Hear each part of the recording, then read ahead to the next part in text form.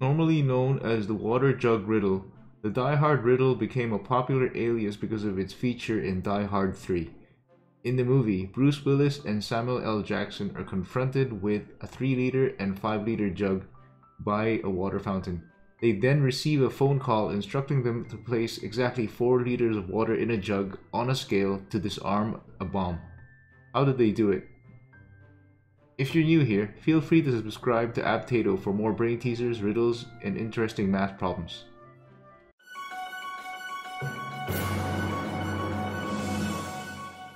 Pause the video for some time to solve this riddle.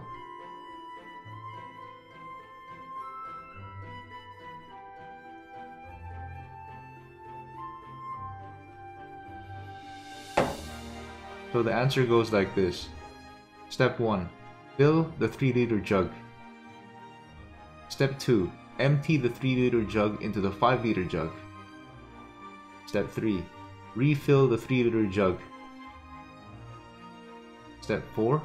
Pour 3 liter jug into 5 liter jug until 1 liter remains. And step 5.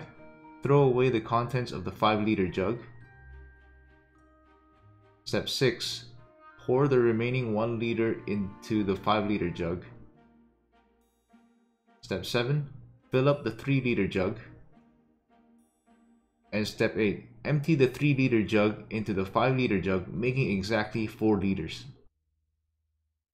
Congratulations, you just disarmed the bomb. Thanks for watching. Leave a comment if you want to see a specific brain teaser Check out our other videos in the links on the screen. Until next time.